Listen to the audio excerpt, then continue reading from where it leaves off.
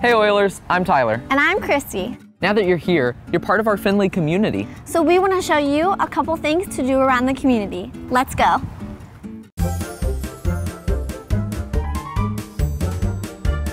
You know, there's really never a bad time for ice cream, or food in general. We're at Archie's, but there are a lot of great places to eat in downtown Findlay. Some of our favorites are Main Street Deli, Scramble Marie's, and another great ice cream place is Dietsch's. There's so many options, you really just have to go try them all.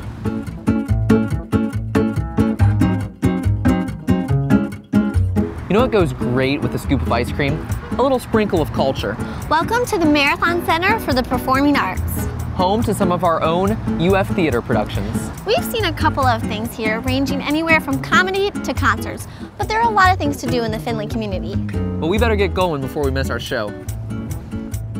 After dinner and a show, you can head on over to one of our beautiful Hancock parks to take in the sights and enjoy some fresh air. We're here at Riverside Park, but there are lots of other parks in the community.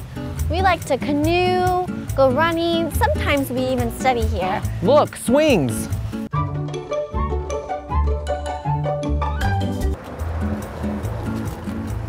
We're here in downtown Findlay, where there's tons to do.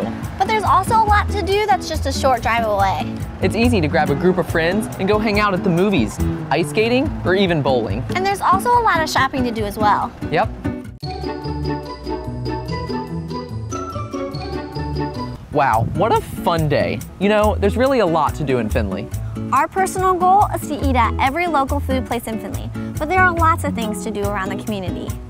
And we hope you'll try a little bit of everything too. Check out these sites for more information. And have a great year.